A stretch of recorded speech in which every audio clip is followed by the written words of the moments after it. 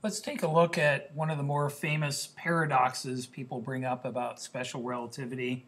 Uh, they're trying to find flaws in Einstein's theory when, when they do this, and it turns out the paradoxes get resolved and it only strengthens Einstein's ideas.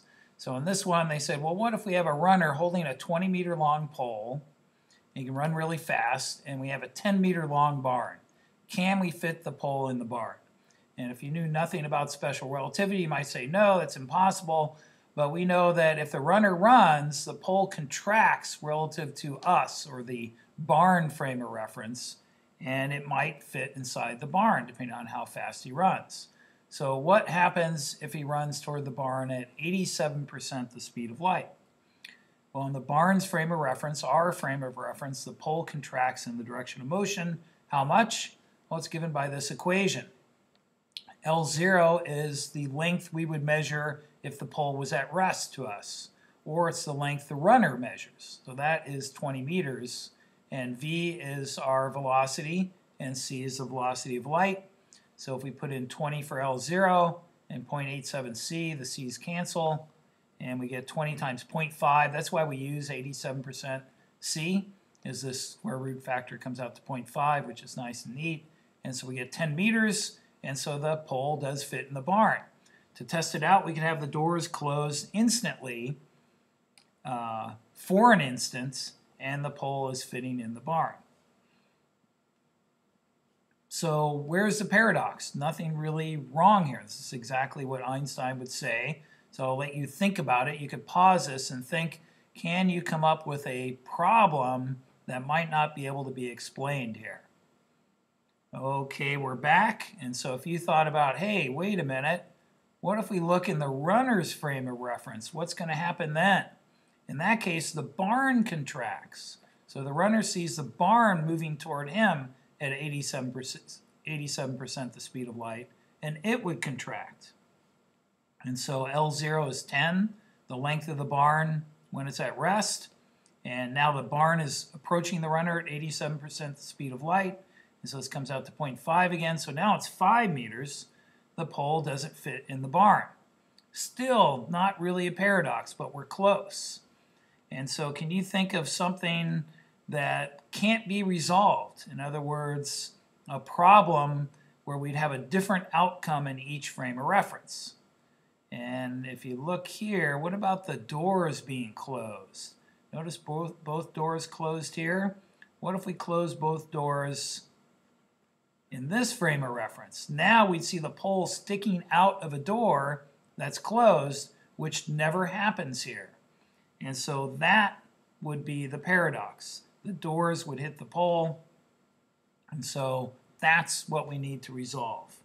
Uh, how can we resolve this? Well, we have a computer program that runs this using the equations of special relativity. So let's look at the barn's frame of reference, our frame of reference. Close the doors for an instant.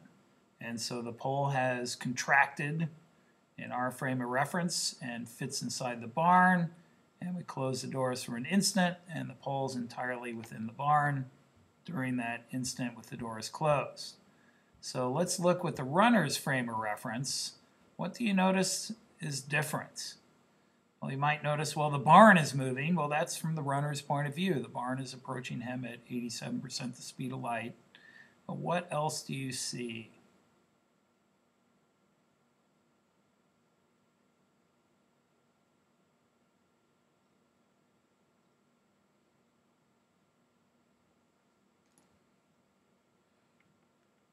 And so hopefully you observe something very different in this frame of reference other than the barn contracting and moving toward the runner. And that is that the doors do not close at the same time. And so this is called the relativity of simultaneity. Two events that occur at the same time in one frame of reference, both doors closing in the barn frame of reference, don't happen at the same time in another frame of reference that's moving relative to that other one.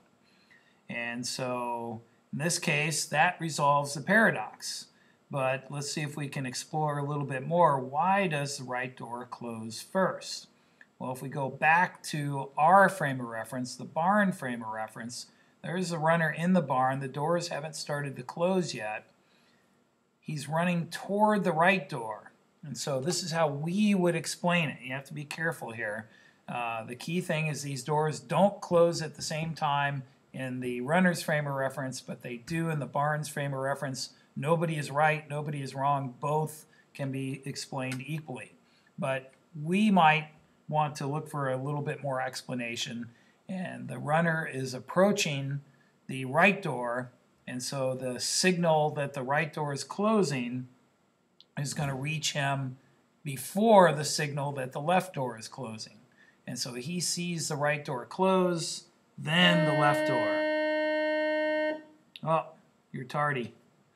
So uh, if we go back and look at it again from the runner's point of view, this is the same thing we just saw. Uh, the pole never has to fit in the barn with both doors closed. The right door closes, then opens again, and the runner enters the barn, and the left door doesn't start to close until the runner's in the barn and doesn't close until the left end of the pole is in the barn. And so that resolves the paradox. The doors were never closed at, uh, um, together, and so the pole didn't have to fit in the barn. Well, the people that came up with this paradox, that didn't stop them. They said, okay, let's imagine that we keep the right door closed. And so if we keep it closed and it's very strong compared to the pole, then the pole would hit it, right? And so how might that change things?